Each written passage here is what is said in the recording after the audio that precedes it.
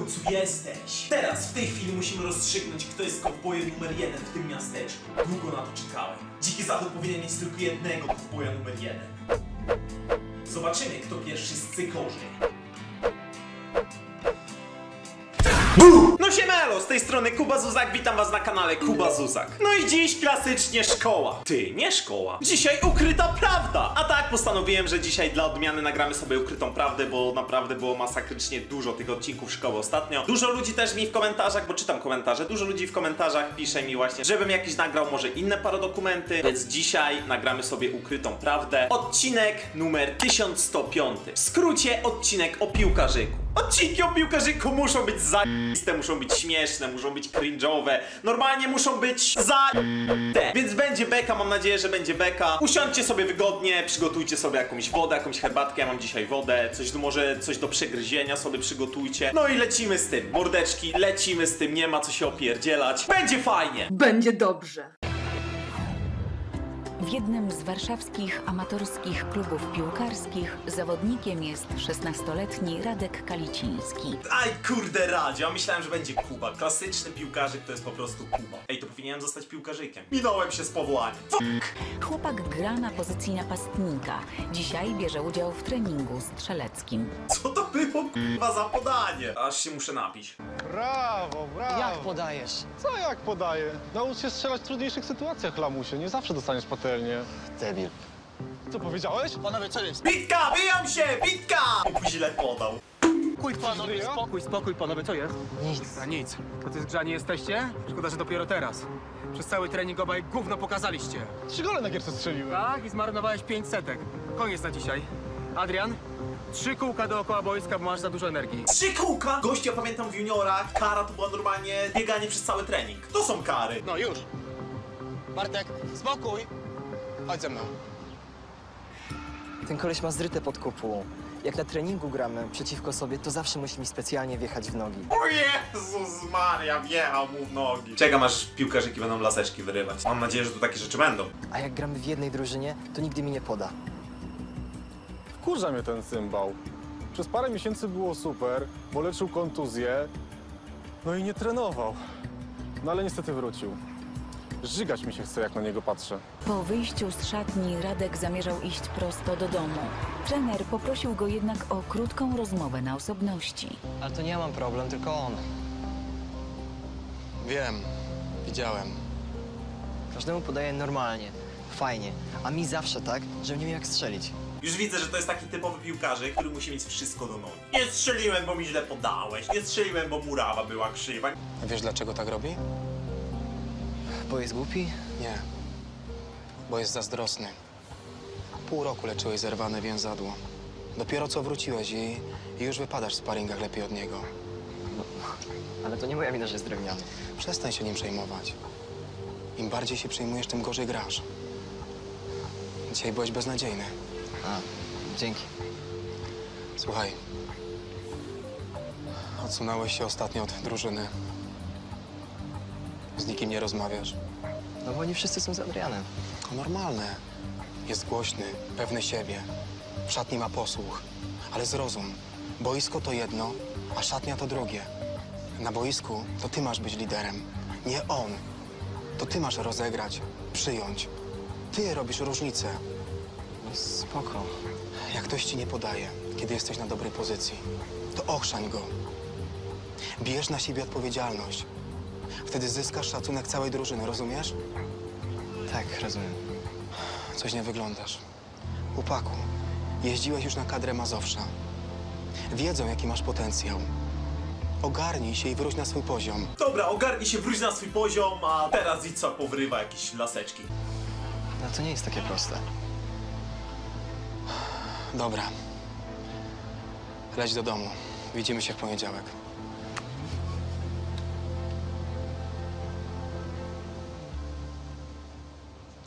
Profesjonalnej piłce najważniejsza jest głowa. Trzeba umieć sobie radzić z krytyką. Jak chłopak się nie uodporni, to nigdy nie zrobi kariery. A szkoda by było, bo ma naprawdę talent. Będę musiał nad nim popracować. Szesnastolatek wracał do domu w kiepskim nastroju.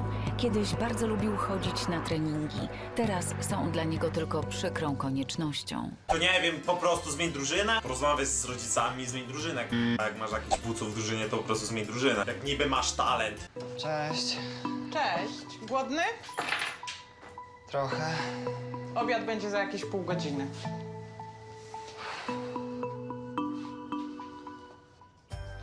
Co tam na treningu? W porządku. Jak kolano? No spoko, nie boli. To co? Poniedziałek trening, a w środę sparring. Oczywiście z mamą będziemy. Ja nie wiem, czy będę mogła. E, jak nie będziesz mogła? Mm, Nie musisz przychodzić, i tak nie będę grać. Czemu? Kończę z piłką. O! O!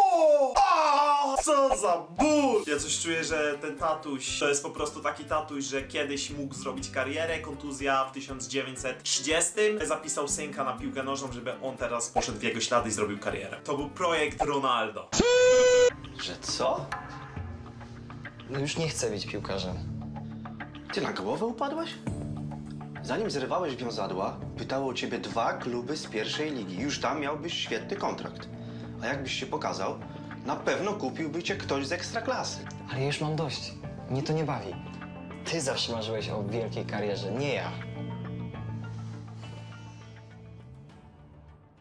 Nie, no, to się nie dzieje naprawdę. Osiem lat treningów i wszystko jak krew w piach. Bo mu się nagle odwiedziało. Znudziła mu się piłka. Nie, ja oszaleję chyba zaraz. Wiedziałem, że tata się wkurzy. Znaczy, wiem, czy się wkurzył, jakoś tak miarę łagodnie to przyjął, nie? Jakby się wkurzył, to by cię przez okno wyjechał. No ale trudno. To moje życie, mam prawo podjąć taką decyzję. Nikt mnie do niczego nie będzie zmuszał.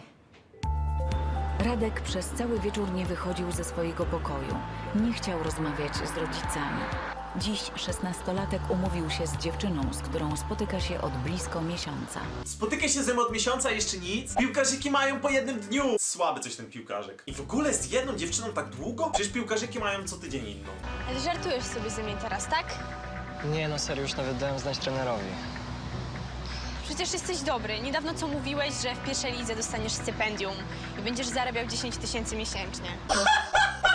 Co jest? Blachara? Ona jak się teraz dowie, że on nie chce być już piłkarzem, to z nim zerwie. Jezu, ale co wy wszyscy macie z tą kasą? Jacy wszyscy. No mój ojciec też cały czas klędzi, że ile bym to nie zarabiał. Przecież mogę zarabiać gdzieś indziej. Ciekawe gdzie. Pójdziesz na magazyn, dostajesz dwa, góra trzy koła. Ledwo się z tego utrzymasz, nie masz ambicji. Co? No i najwyraźniej nie chce ci się trenować. Ty mi mówisz o ambicji? Przykleiłaś się do mnie tylko dla kasy. Wiedziałem, wiedziałem! I co, liczyłaś, że zrobię karierę i będziesz żyła jak królewna? Wal się, za kogo ty się masz? Jezu, nie drżyj się. Będzie mnie oceniał, szmaciarz pieprzony. Sam jesteś królewna. Dobra, nie chcę mi się z tobą gadać. Tak czy siak, nigdy nic do ciebie nie czułem i nie czuję, więc no, nara. Piłkarzyk. Podsumowanie piłkarzyka. Nie no, naprawdę nie wiem, dlaczego się z nią spotykałem. Cały czas tylko gadała o butach i paznokciach i chciała wyciągnąć ode mnie hajs, jakbym już zarabiał na piłce. Niech się goni. Szesnastolatek nie żałuje, że rozstał się z Magdą. Od początku czuł, że nie będzie w tym związku szczęśliwy. Cześć, Radek. Dzień dobry.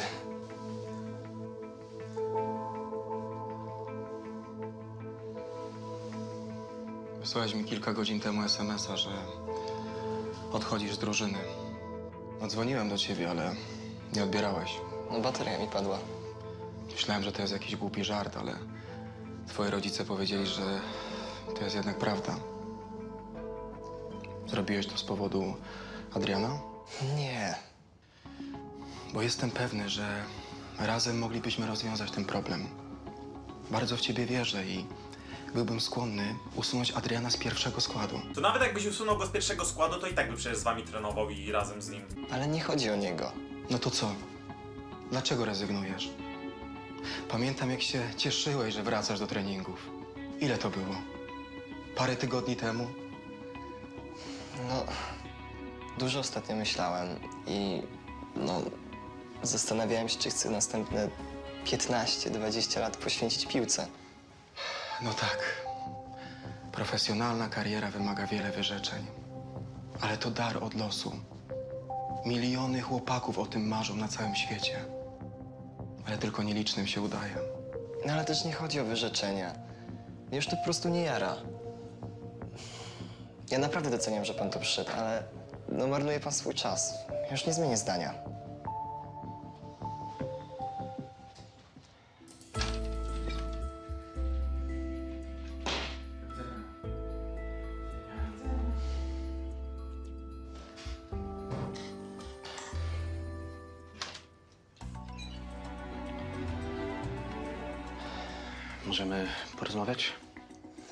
Musimy?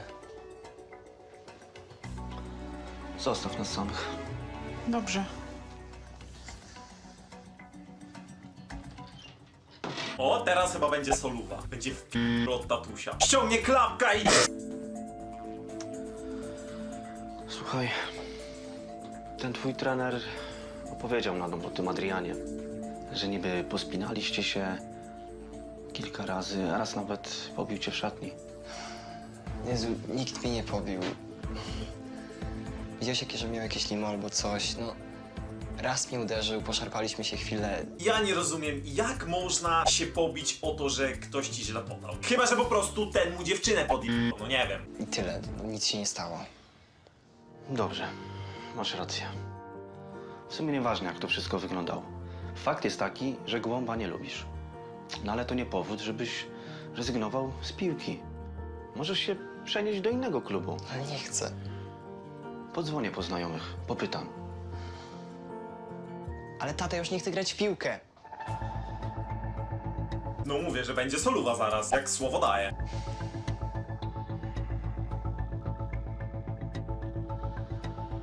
Co z tobą nie tak? Woziłem cię na treningi. Za wszystko płaciłem.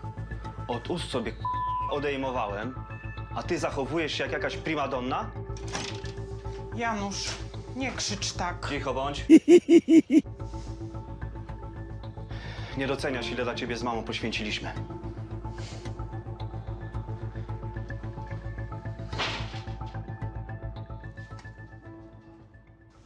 Janusz nie umie się pogodzić z decyzją Radka. Cały czas chodzi wściekły, chwilami aż się go boję. Też jestem zaskoczona całą tą sytuacją. Myślałam, że Radek kocha piłkę nożną. No ale co zrobić? Nic na siłę. Na co to ta liczy? Że jak się będzie na mnie wydzierał, to co, zmienia zdanie? Sorry, to tak nie działa. Radek starał się już nie myśleć o piłce nożnej, choć jego ojciec ciągle wracał do tego tematu. Chłopak jest przekonany, że to już w jego życiu zamknięty rozdział. Wiecie co? No? Tak sobie myślałem. W sumie nigdy nie miałem problemu z nauką. I dobrze. No i najlepiej idzie mi matma. E, W sumie nawet nie muszę się uczyć. Wystarczy to, co słucham na lekcjach i od razu jakoś to łapię. Chyba zostanę programistą. Kim? Kim? Kim? Wiem, że to trudna praca, no bo trzeba poznać te języki programowania, ale w sumie zacząłem od czegoś prostego. Od stron internetowych. To ciekawy pomysł. Ciekawy pomysł, a skąd ty to wiesz? Sama pewnie nie wiesz, co to jest. Ciekawy pomysł, bo nie wiesz, co to jest. Nauczyłem się podstaw i od razu zaczął łapać jakieś proste zlecenia. No i myślę, że po paru latach mógłbym być w tym naprawdę dobry. Fantastyczny pomysł. Proponuję, żebyś został profesorem biologii i ministrem spraw zagranicznych. Taka sama szansa, że ci się uda. tak, a piłkarzykiem na 100% by został.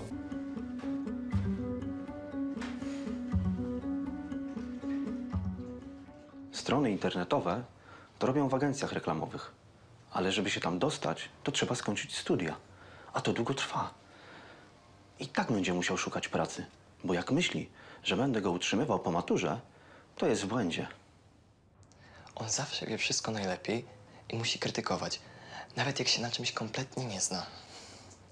Zobaczę, że mam rację dopiero jak zacznę zarabiać. Chłopak postanowił zrobić pierwszy krok, by dowiedzieć się, jak zostać programistą. Wybrał się do sklepu komputerowego, w którym pracuje jego znajomy z osiedla. Dzień dobry. Dzień dobry. Cześć. Hej, hej. Jak tam? Słyszałem, że do treningu wróciłeś. Tak. Znaczy nie. W sumie to przyszedłem z tobą pogadać. No wiesz, tylko tak średnio, bo szef się denerwuje strasznie, jak w pracy rozmawiam z kolegami. No to nie wiem, pokaż mi coś, jakąś klawiaturę, czy cokolwiek. Co tam? Chcę się nauczyć programować. Serio mówisz? No ta, twój brat jest programistą, nie? No jest, jest. Mm, w sumie to planuję zacząć od stron internetowych. Co muszę zrobić? Ale to też takie k***a. Obo mi się przywidziało, że chcę zostać programistą. Zazwyczaj osoby, które są programistami, to chyba siedzą w tym od dziecka, nie? Się tym po prostu interesują, a nie tak z dupy sa, o, zostanę programistą, bo mi k***a dobrze matematyka idzie. Co to jest w ogóle? Mógłbyś coś szukać poradników w internecie i samemu coś tam dłubać, ale boję się, że no, szybko byś się pogubił. Najlepiej by było, jakbyś zapisał się na kurs programowania profesjonalny. Są takie wakacyjne dla młodych ludzi. Mm, Spotkania po dwie godziny. W sumie spoko, ile takie coś kosztuje? Trzy, cztery stówy. Mm, Co nie tak źle. Tylko musiałem kupić nowy laptop. A, na moim to guzik zdjąłem. Na stare zumie wszystko się zacina. To zaraz ci coś wybierzemy. Jezu, nie żartuj, nie mam kasy. Pomóc w czymś? Nie, nie, dziękuję. Wow. Gdyby 10 minut temu ktoś mi powiedział, że Radek Kaliciński będzie chciał zostać programistą, to chyba bym go zabił śmiechem. Ten ziołek wygląda jak był spizgany. No ale okej, źle mu nie życzę. Niech mu się wiedzie. Szesnastolatek zaczął się zastanawiać, skąd mógłby wziąć pieniądze na nowego laptopa. W tej chwili nie stać go na zakup dobrego sprzętu. Idź zapytaj tatusia, może tatuś ci da. Pożycz piątaka. Co? Pożycz piątaka. Nie mam. Ta, pokaż portfel. Nic ci nie będę pokazywał. Dawaj ten telefon. Idziesz gdzieś? Michał! O, shit, Radek. To ty go znasz? Pewnie, że znam. Nie, no nie wierzę. Chłopy go chciało pierdolić na kasę. O, Radek? Jak pierwszy raz kiblowałem w podstawówce, to trafiliśmy do jednej klasy. Spoko ziomki tam były. No działo się. Lipa, że dwa lata później znowu nie zdałem. Wszystko przez kwiatkowską. Kuźma uwaliła mnie i z historii, i z WOS-u. Uwaliła mnie z historii, no i z WOS-u. No ostra była. A wzięła się na mnie pinda. Ją złapał za te rude kłaki. Sorry, chcieliśmy cię skroić. Napijesz ten browarka? Czemu nie?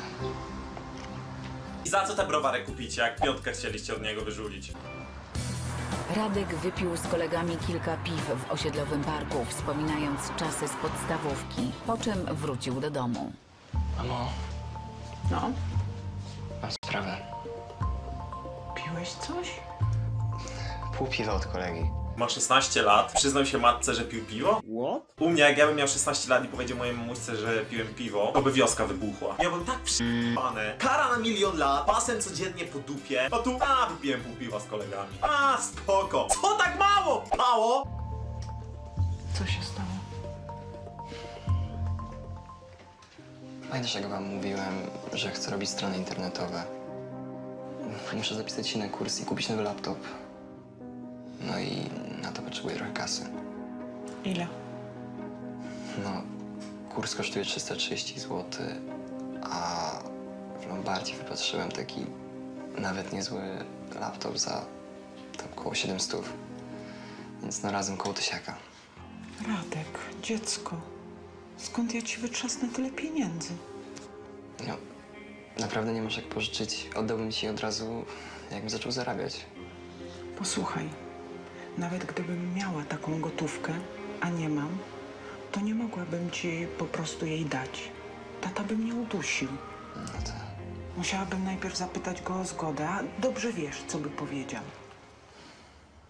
Co tutaj knujecie? Myślimy, co ci kupić na urodziny. Nic. Szkoda pieniędzy.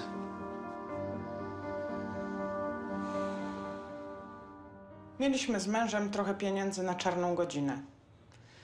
Niestety musieliśmy je wydać w zeszłym miesiącu na naprawę auta. Ten samochód to jest studnia bez dna. Już dawno powinniśmy się go pozbyć.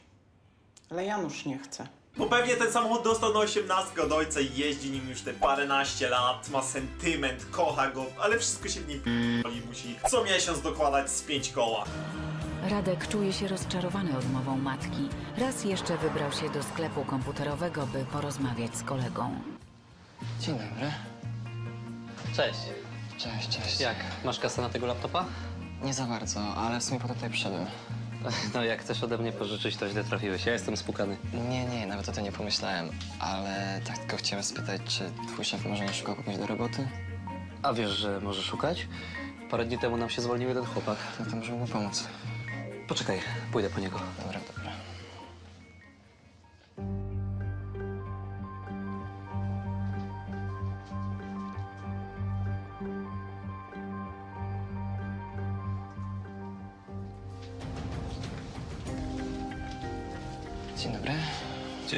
Już mi Karol o tobie opowiedział. Czyli chciałbyś u mnie pracować, tak? No jakby się dało? Ile masz lat? 16. Odpada. No, dlaczego? Przecież damy sobie radę. Ja bym mu pomagał. Skup się lepiej na swojej pracy, co? Wróć za dwa lata. No, dobra.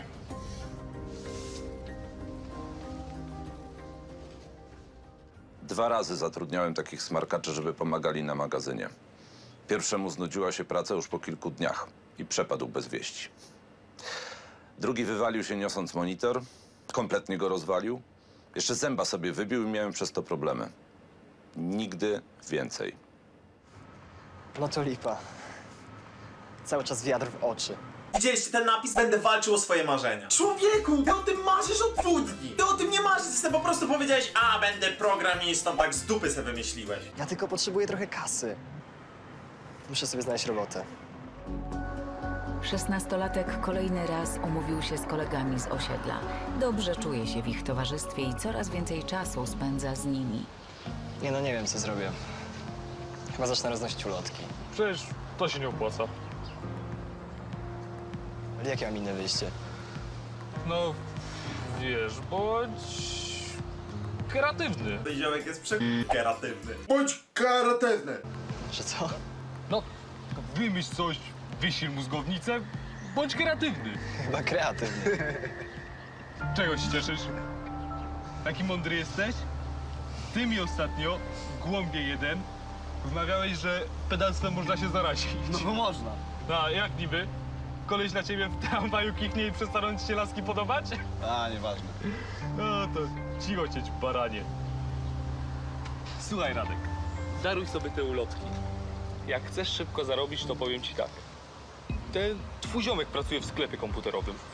No tak, znamy się z osiedla. No, mógłbyś coś tam pokombinować. Może byśmy weszli do środka, jak nikogo nie będzie. Może zakosiłbyś mu klucze. Daj spokój. No ale stary, dobra karta graficzna kosztuje parę koła. Wiem, bo chłopak mojej siory ostatnio składał kompa. Parę kart byśmy wzięli, może jakiś laptop jak się nawinie jesteśmy bogaci. Nie, nie, Michał, daj spokój.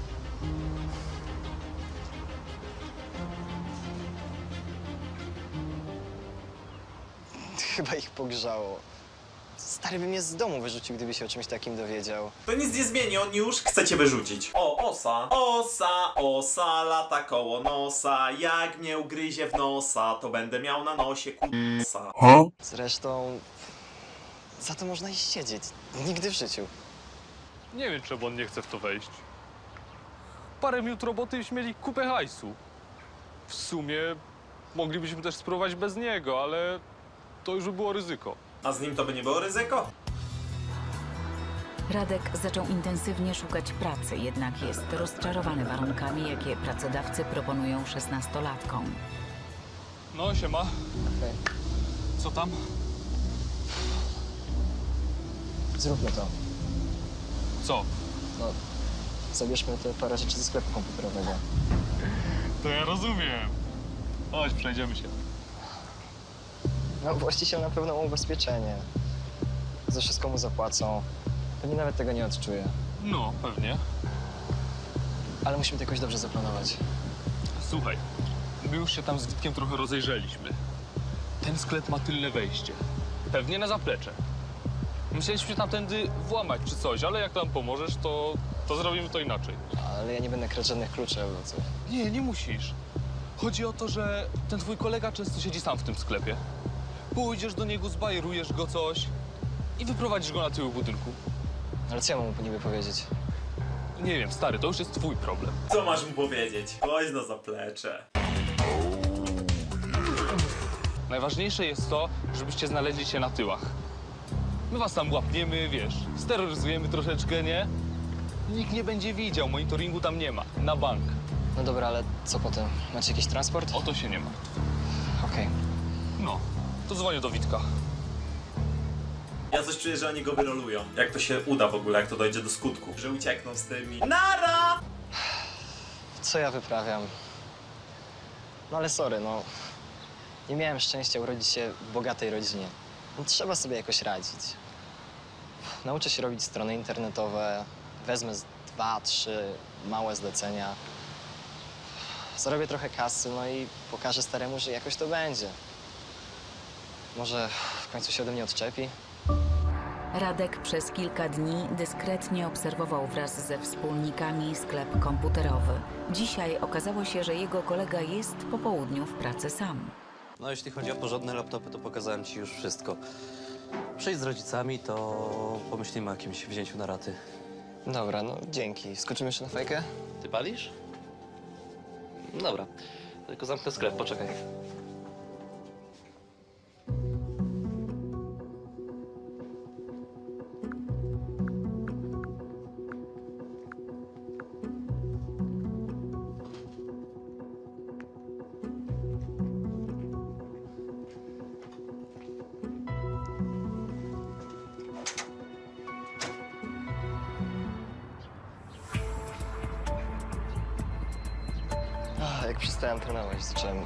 Korzystać z życia. Korzystać z życia paląc fajki? Co to jest k- za życie? Ja nie palę i wy też k- nie palcie. To nie jest dobre. Jak można powiedzieć, że się korzysta z życia paląc fajki? Tak to jest właśnie.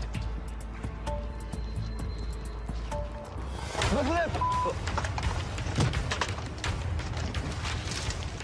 Ja Zamknij mordę, bo cię potnę! Napad na sklep trwał zaledwie kilka minut.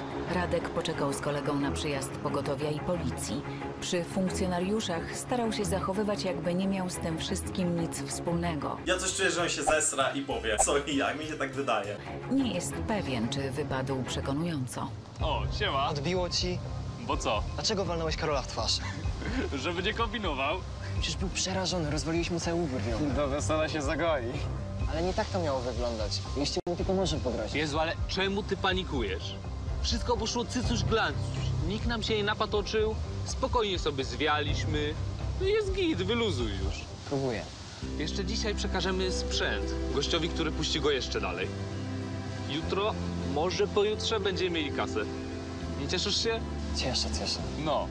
Nie dość, że jesteś starszy na tego laptopa, to jeszcze sobie coś dokupisz. Pomyśl lepiej co i przestań płakać. No ale będę miał zajebiste buty. Już sobie opatrzyłem takie za 1200 zeta. Pokażę wam fotę. Jestem zwykłym dzbanem. Po co mi to było potrzebne? Jeśli pałę mnie z tym jakoś połączą, to koniec. Nawet jeśli mi nie zamkną, to ojciec mnie zatłucze. Radek był przerażony. Próbował sobie tłumaczyć, że to nie on dokonał napadu na sklep, ale mimo to cały czas bał się, że do jego drzwi zapuka policja. Cześć. Cześć. Słuchaj, ty masz mnie za idiotę? Nie rozumiem. Wczoraj o tym nie pomyślałem. Byłem zbyt roztrzęsiony, a poza tym napieprzał mnie łeb. Ale teraz już wszystko rozumiem. Ty wiedziałeś o tym, że oni obrabują sklep. Pomogłeś im. Nie mam pojęcia, o czym ty mówisz. Co? I niby wczoraj przypadkiem przychodziłeś i pytałeś o ceny laptopów, a potem czy wyjdę z tobą na papierosa. I na pały. Nie mam z tym nic wspólnego. Okej, jeśli tak, to znaczy, że nie masz się czego obawiać. Ja idę na komisariat. Nie, czekaj. Stój. No i co? I pójdzie na policję i co? Udowodni. Powiesz, że to niby ty i przyjdą cię przysłuchać, powiesz, nie, dobra, już za dużo kombinuję. Nie rób tego. Niby dlaczego? To tam ci dwaj mnie namówili. Ty debilu! Żałuję, że to zrobiłem. No, z pewnością, że żałujesz. Poczekaj. E, dają mi jedną trzecią kasy. Oddam ci połowę. Ty matule! Po co? Wiem, że teraz go w sumie do złego namawiam, ale po co? Oddasz mi wszystko. Zlituj się, muszę kupić laptopa. Oddam ci trzy czwarte.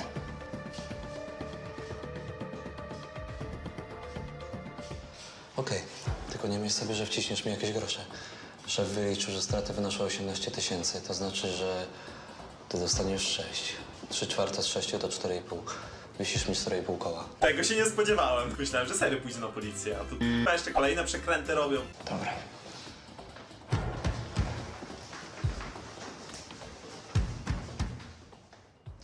Powinienem iść na policję i tak barana załatwić, żebym poszło w pięty. Ale niech będzie. Szef strasznie słabo płaci, a mnie kasa się przyda. Kupię sobie nowego kompa, bo na starym już gry przycinają. W życiu bym nie pomyślał, że Karol tu przyjdzie i zacznie mi grozić. Myślałem, że nie skojarzy faktów. Cholera, co ja najlepszego narobiłem? Radek czuje się przytłoczony ostatnimi wydarzeniami. Wybrał się na boisko, by rozładować emocje. O, brawo! Ładnie, ładnie! I to jest profesjonalna piłka. Goście z na pustą bramkę, a trener krzyczy brawo, brawo. Jednak dobrze, że zrezygnował z tej piłki. Bramkarz by to wybronił. Aj, nie gadaj. Może by się pomylił. No nie no. Wiem, najważniejsze trafić. No. Co tu właściwie robisz? W sumie mogę pana to samo spytać, przecież dzisiaj nie ma treningów. No tak, ale miałem jedną sprawę, chciałem załatwić w klubie.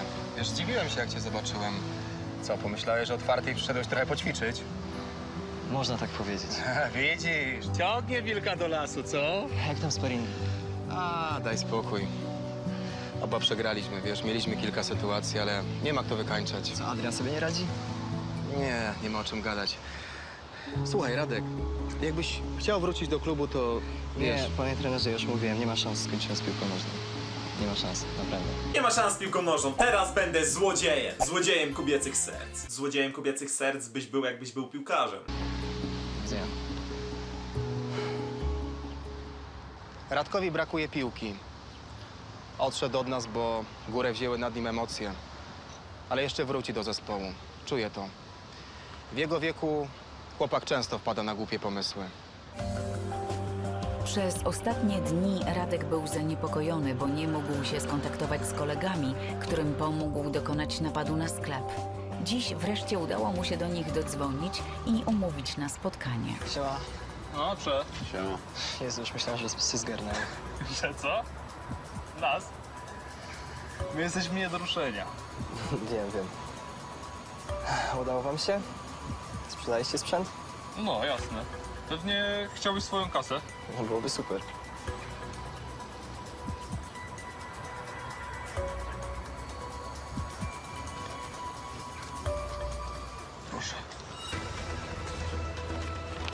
Ty, ale co to ma być? Stuwa. Za fatygę. Bardzo śmieszne. Dawaj resztę. I jaką resztę? No, była umowa. Dzielimy się porówno. Nie pamiętam. A ty ziom? Nic takiego nie słyszałem. Wygnoję. Dawaj kasę. Gdzie z tymi łapami? się. Nie jeżdżaj stąd. I żeby ci lepiej nie wpadł do głowy jakiś głupi pomysł, typu donosik na pały. Pamiętaj, że w tym siedzisz tak samo jak my. Oj, to było bardzo ryzykowne. Widać, że takie dwa matoły nie mają zarówno pod sufitem. Główka nie pracuje. Pójdzie na pałę i wy będziecie i tak mieli najbardziej przyjemne. Ty go pobiłeś, tego wypchnąłeś w krzaki, wyście to ukradli. On tylko brał w tym udział, że chłopa wziął na zaplecze i tyle. Wy będziecie mieli bardziej przyjemne. Szlak mnie zaraz trafi. Po cholerę ja się z nimi trzymałem. Mogło się domyślić, że mnie wykorzystają. Przecież to pieprzona patologia. Kiedy Radek opanował złość, zdał sobie sprawę, w jak fatalnej sytuacji się znalazł. Nie ma pieniędzy dla kolegi ze sklepu komputerowego, któremu miał zapłacić za milczenie. Tej drukarki akurat na stanie nie mamy, ale zawsze możemy ją zamówić. Nie, dziękuję. Kupię sobie przez internet. Do widzenia. Do widzenia. Hej, jesteś sam? Tak, szef wyszedł na chwilę. Masz kasę? Mam mały problem. Oszukali mnie. Nie chcą mi zapłacić. Chyba sobie jaja robisz. Nie myślisz chyba, że w to uwierzę. No Karol, no, Mówię prawdę. Posłuchaj, nie obchodzi mnie, jak zdobędziesz te pieniądze, ale chcę moje 4,5 tysiąca. Możesz sobie obrabować inny sklep, sklep, nic mnie to nie obchodzi. W poniedziałek mam widzieć pieniądze, albo idę na policję. Czekaj. W takiej sytuacji to bym sam poszedł na policję. No w sumie bym im wsypał tamtych, ale są z nami, więc nie szkoda by ich było w sumie. Jeszcze cię oszukali. Wiesz co to jest? Dyktafon? Ty świnio. Wszystko nagrałem. Jak pójdziesz na pałę, sam się wyrobisz. Więc lepiej nic nie próbuj. Wypieprzaj stąd.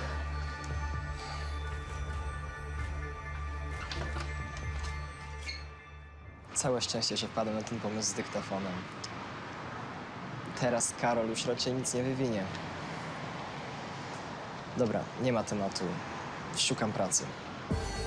Szesnastolatek postanowił zarobić w legalny sposób potrzebne mu pieniądze. Zamierza wybrać się do siedziby firmy zajmującej się kolportażem ulotek i zapytać o pracę. Dzień dobry. Dzień dobry. Mogę wejść? Oczywiście, proszę. Dziękuję.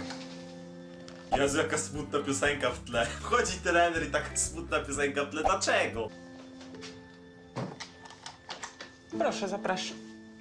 A jaki w ogóle smutny wchodził, nie? Jakby normalnie życie mu się posypało, bo jakiś chłopaczek nie chce grać w piłkę. Bo wiem, że temu trenerowi też jakoś zależy, nie? Ale no bez przesady wchodzi.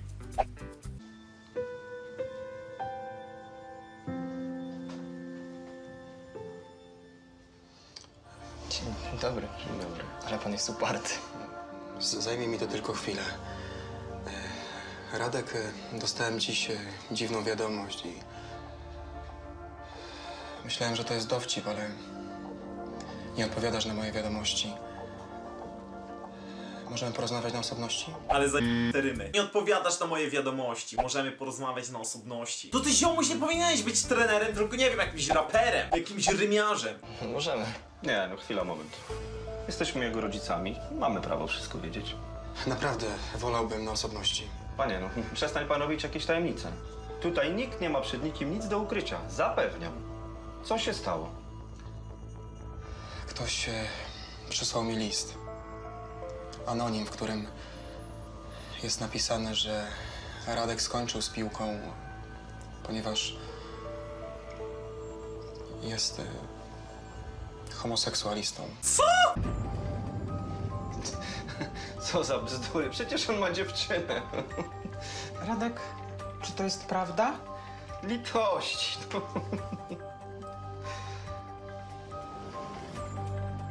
Co masz taką minę? No powiedz, że to wszystko bzdury. No, na co czekasz? Jestem gejem. Nie potrafię tego zmienić. Przykro mi. Co jedno przeszkadza w drugim. To, że jesteś homo, to znaczy, że nie możesz być piłkarzem? Dlatego skończył z piłką, bo jest homo. What?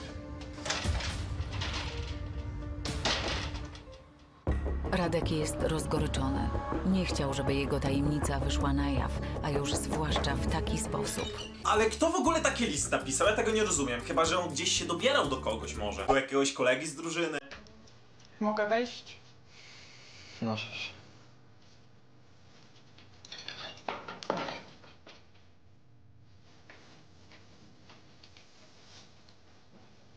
Trener już poszedł.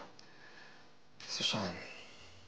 Słuchaj, tata jest w tej chwili zły, ale ja rozumiem. Nie mam do ciebie żadnych pretensji. Spoko. Co właściwie się stało? Twoi koledzy z zespołu się dowiedzieli?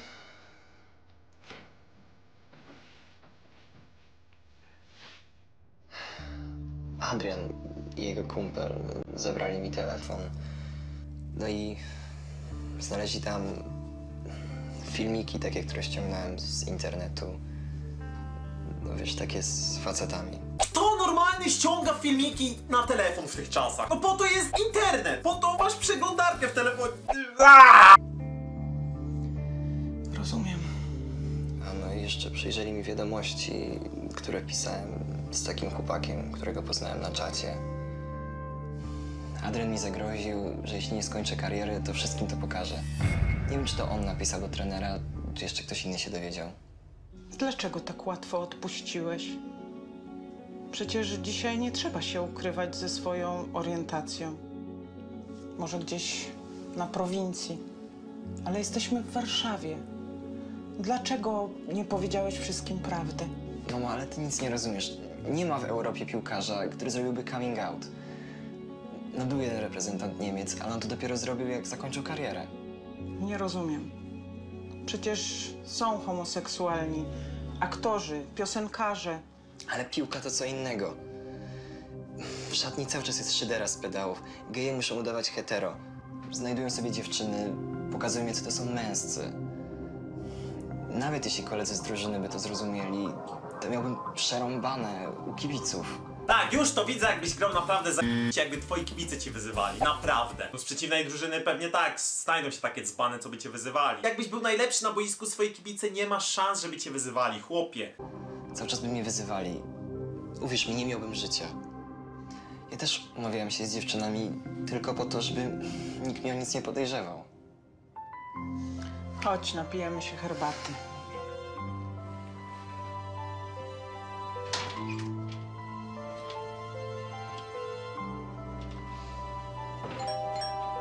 Kto tam znowu? Ja otworzę.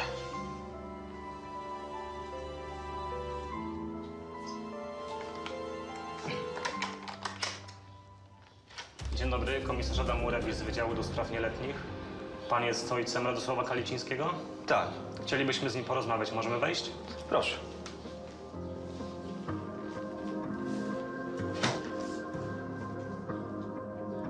Policja do ciebie. Dzień dobry. Dzień dobry. Doszło do napadu na sklep komputerowy. Być może państwa syn ma coś z tym wspólnego. Zabierzemy go na komendę. Pana poprosiłbym, żeby pojechał z nami. W coś ty się wpakował. Spokojnie. Proszę o pana dokument tożsamości.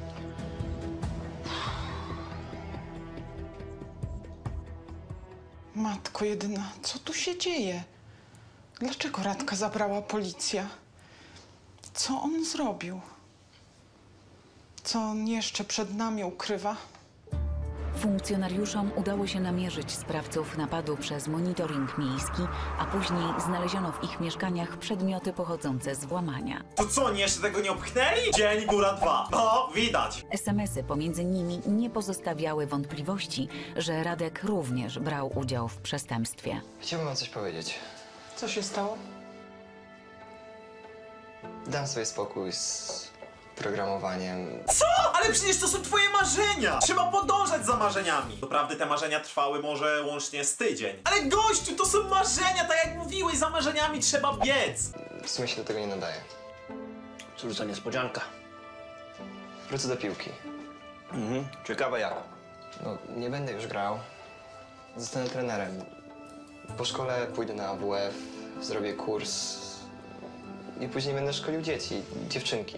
Tej ukrytej prawdzie, dlaczego ja w tych wszystkich paradokumentach takie zjebane decyzje wszyscy podejmują. No i mordeczki, to w tym odcinku na tyle. Zostawcie łapeczkę, zostawcie subika z dzwoneczkiem i widzimy się w kolejnych odcinkach. Następny pewnie to będzie szkoła albo coś innego, no nie wiem, zobaczymy. Trzymajcie się cieplutko, miłego dnia wam życzę, siema!